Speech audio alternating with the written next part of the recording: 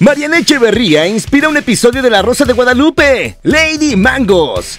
Mi raza, dejen que les digamos que la Rosa de Guadalupe se está atreviendo a lo grande, pues ha sabido utilizar las tendencias a su favor. Esta vez se inspiró en Mariana Echeverría para uno de sus episodios. Sí, así como lo escucharon. Pero aquí nomás quédense, porque les contamos todo el chisme. Los escritores de la Rosa de Guadalupe han decidido incorporar algo sobre la casa de los famosos. Y es que vaya que han sido polémica, pero decidieron tomar uno de los temas que más memes provocaron en redes sociales y llevará el título de Lady Mangos. Está inspirado en el enfrentamiento que tuvieron Mariana Echeverría y Bridget Bozo dentro de la casa, uno que causó gran revuelo en redes, tanto que a casi todas las entrevistas que iba la conductora luego de la eliminación le tenían mangos preparados. El conflicto fue porque en una fiesta temática en la casa, la producción dio otros seis mangos, y mientras Mariana planeaba repartirlos para el desayuno, Bridget dijo que era un regalo de cumpleaños y se negó a dar el suyo, lo que provocó molestia en Echeverría. El momento no solo fue un tema en redes sociales, también se volvió tendencia. ¿Crees que la gente llega a olvidar que le dijeron Lady Mangos? Pero retomemos el chisme de la Rosa de Guadalupe. El episodio parece que abordará el tema de las relaciones y conflictos que surgen en ambientes donde las emociones se viven al límite